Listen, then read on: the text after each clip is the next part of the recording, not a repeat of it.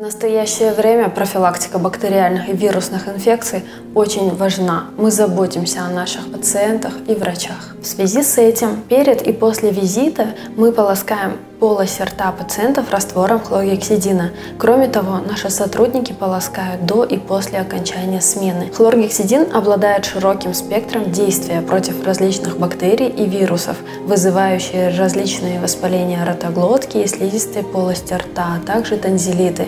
При полоскании раствор смывает скопившиеся в полости рта микробы. В своей практике мы используем хлоргексидин компании Curasep с системой против окрашивания зубов.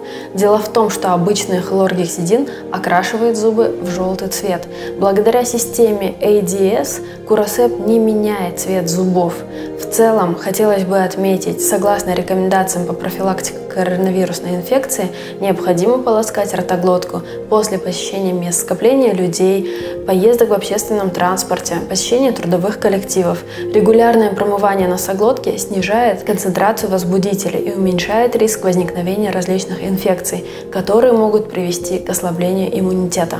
Коронавирус прежде всего опасен при ослабленном иммунитете, и поэтому Регулярное его укрепление снижает риск заражения. Для полоскания полости рта и ротоглотки рекомендуется использовать раствор хлоргексидина или слабый раствор соды или соли. Берегите себя и своих близких.